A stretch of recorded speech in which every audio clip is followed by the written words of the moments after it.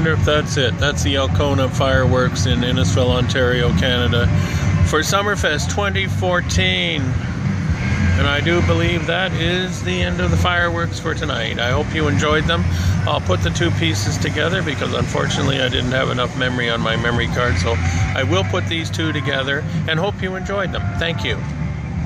This is a Foxeema television production.